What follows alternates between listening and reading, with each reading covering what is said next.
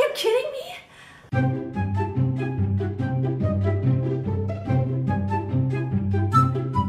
Hey rabbits, it's Trixi and today I'm gonna transform myself into the ultimate German. There are tons of ridiculous stereotypes about the Germans, but what if they were all true? What would this super German look like? Well, let's figure out exactly that today. Here we go.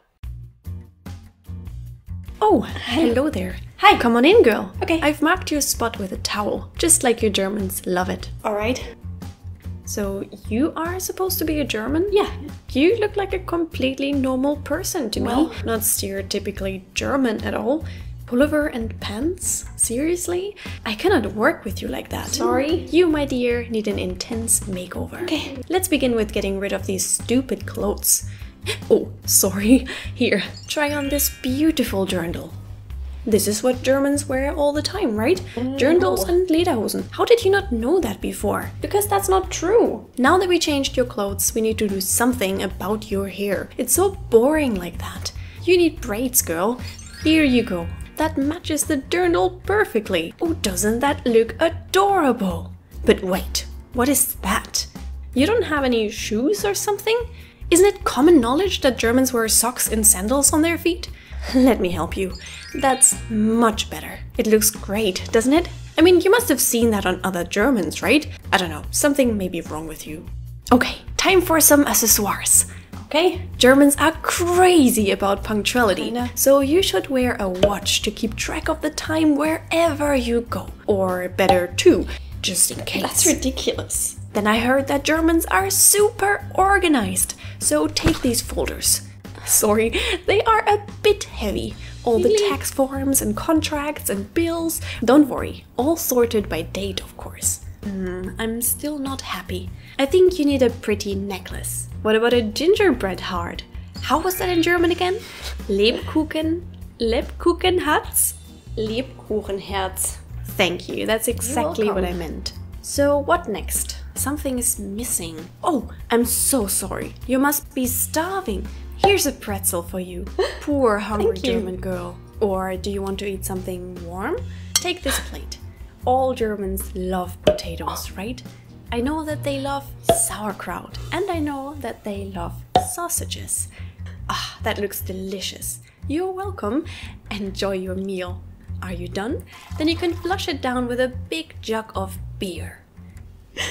Hey, why are you laughing? Germans don't laugh. I didn't say anything about laughing. Oh, come on, stop it. Be depressed. More depressed. Even more depressed. Ah, that's about right, I guess. I'm sorry, you are aware that this is stupid, right? Germans don't look like that at all. Uh, what was that? You're speaking English? Of course. I only heard a very slight German accent. You have to make it much stronger. You know, say that again, but like a real German. This is stupid. Germans don't look like this at all. We are completely normal people. Now we're talking. Was that a bit better? This is ridiculous. Hey, what are you doing?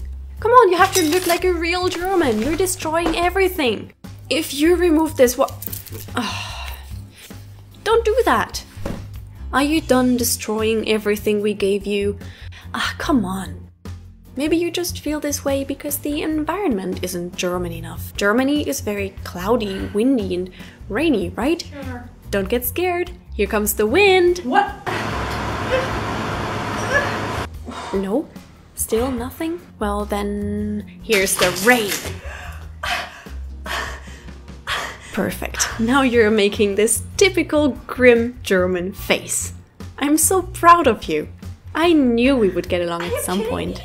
So here you can see her, a typical German girl, wearing typical German clothes, eating typical German food, suffering from the typical German weather. Now you know what real Germans look like. Join us next week when we look at the typical American. So, my dear rabbits, how did you like my little show? Of course, one purpose of this video was to make you laugh, to entertain you, but on the other hand, it also had a hidden message. The message is, don't trust all the stupid stereotypes that you hear, because if they were all true, people would end up looking pretty weird. Anyway, it was a ton of fun for me to turn myself into the ultimate German.